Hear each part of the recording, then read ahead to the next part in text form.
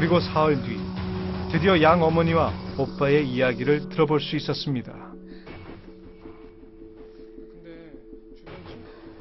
엄마라는 사람이 딸 허물을 들키는 것 같아서 내가 여태까지 자꾸 피했던 건데요.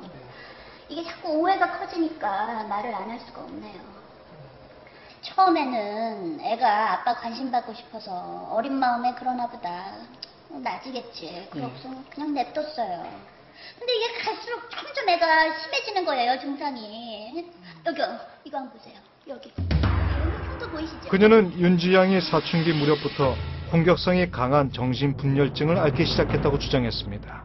아니, 그럼 진작 치료를 하시지 왜 갑자기 강제 입원을 하셨나요? 아, 우리가 이제 떨어져 살면서 애가 좀 낮은 줄 알았어요. 걱정이 돼가지고 집에를 가봤더니, 아유 세상에, 얘 어딨니? 응?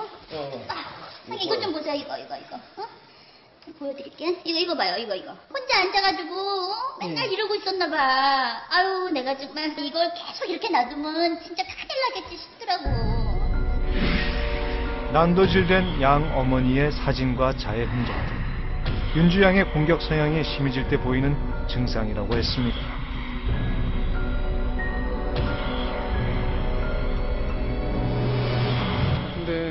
주변 친구들이나 생모 말로는 전혀 이상한 점을 못 느끼셨다고 하던데요. 그러니까요. 예? 그러니까 더 환장하겠는 거예요. 주위 애들, 어, 주위 사람들한테는 멀쩡한 척해요. 근데 엄마한테만 유독 그러는 거라고요. 오죽했으면요.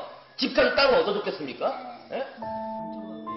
또한 그들은 윤주양의 유산을 노리고 있는 건 자신들이 아닌 생모라고 주장했습니다.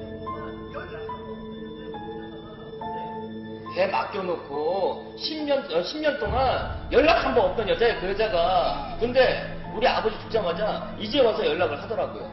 그 이유가 뭐겠어요? 예?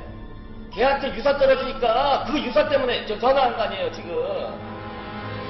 십수년간 길러온 딸을 병원에 보내야 했던 심정은 오죽했겠냐며 눈물을 훔치는 양어머니. 하지만 생모는 그들의 주장이 터무니없다며 강하게 반발했습니다. 윤주 씨가 자해한 이걸 언제, 언제 찍었다고요? 윤주 씨 입원하는 날 찍었다고 하시더라고요. 아니 말이 안 되죠. 어? 그날이 우리 윤주 출국하는 날이었어요. 내가 그 전날 저녁에 가서 어? 얘 짐도 다 싸주고 정리도 다 해주고 청소도 쫙 해놓고 내가 그러고 왔는데 이런 게 있다는 게 양 어머니가 보여준 건 조작된 사진이라는 것. 그럼 그녀는 왜 윤주양의 유산에 대해 모르는 척 했던 것일까? 저는요 진짜 그 돈에 관심도 없고요. 진짜 저는 그 돈 다 줄 테니까 제발 우리 윤주만 달라고 어 그렇게 제가 매달리고 싶은 심정이에요 진짜. 남편이 밖에서 나온 딸.